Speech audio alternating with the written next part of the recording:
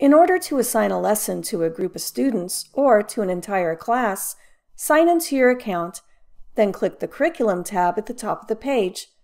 Then select the icon for the subject in which you would like to assign a lesson. In this video, we will be assigning a lesson from mathematics. On the next screen, click on the Assign tab, and you will be brought to the Manage Upcoming and Incomplete Assignments page. On the left side of this page, you can assign a wide variety of lessons to your students, including skills, board games, quizzes, and tests, as well as interactive whole class lessons. After selecting the type of lesson, follow the prompts to complete the assignment.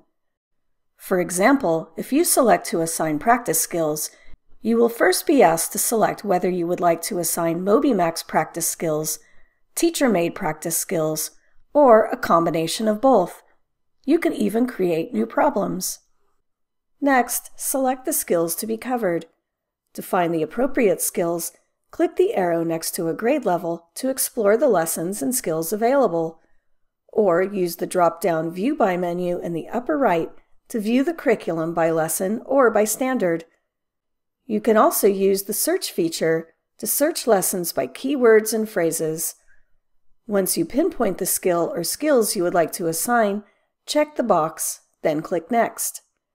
Now you can choose to assign the lesson to an individual student, several students, or the entire class. You can also choose to assign the lesson to a predetermined group by using the Your Groups drop-down menu. Finally, enter a lesson name and optional dates, then click Assign. Students will see their new assignments when they log into their accounts.